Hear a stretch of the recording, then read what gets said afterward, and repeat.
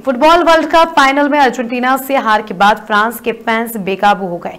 हज़ारों फैंस ने फ्रांस की राजधानी पेरिस में दंगे शुरू कर दिए, गाड़ियाँ तोड़ी और आगजनी तक कर दी पेरिस के अलावा कई अन्य शहरों तक ये हिंसा फैल गई। हालात काबू में करने के लिए पुलिस को आँसू गैस छोड़नी पड़ी। बता दें, पेरिस में हज़ारों पुलिसकर्मी तैनात कर दिए गए हैं। पुलिस ने बताया कि लेन नीज भी हिंसक घटनाएँ यहाँ पर भी हुई है। पेरिस में मशहूर चैंपस एलईसीसी में भी फैंस जो है, आपस में भिड़ गए। जानकारी के अनुसार फ्रांस की जीत देखने के लिए लाखों फैंस फ्रांस के शहरों में सार्वजनिक जगहों पर इकट्ठा हुए थे, लेकिन अर्जेंटीना से चार दो से मिली हार के बाद उन्हें संभाल पाना मुश्किल हो गया।